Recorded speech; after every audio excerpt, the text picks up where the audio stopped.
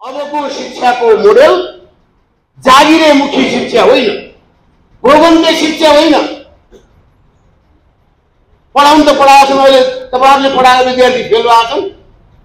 सामुदायिक विद्यालयबाट धेरै फेल भए निधिबाट धेरै पास भए। निधिले पास भएले के गर्छ? कुन विद्या पढ्यो यही विद्या होइन।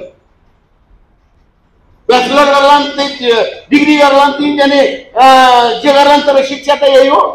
हाम्रो चरित्र कस्तो छ पढि लेखेपछि मैले दस क्लास पास गरेँ अब एसएलसी पास गरेँ भने मैले माटामा हात हाल्नु अरू धन्दा गर्नु म कुर्सीमा बस्न पाउनुपर्छ। मास्टर भएर जाने चार्टर बफ दिएर जाने त्यो विद्यालयमा गएर बफ दिन पाउनुपर्छ भन्ने कोही कोही जाने त्यो कुर्सी फलाएर भए पनि म सय रुपियाँ पनि त्यो कुर्सीमा बस्न पाउनुपर्छ भन्ने मानसिकता नेपाली चरित्र हो। काम गर्नुपर्छ।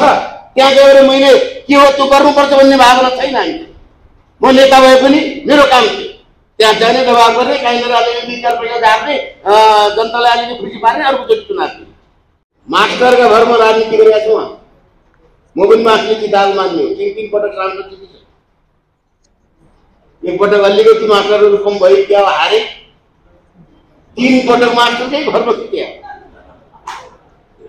मास्टरहरूलाई शिक्षकहरूलाई हामीले राजनीतिक हतियार बनाएर हामी आफू जित्ने उनीहरूको भविष्य जहिले पनि अन्धकार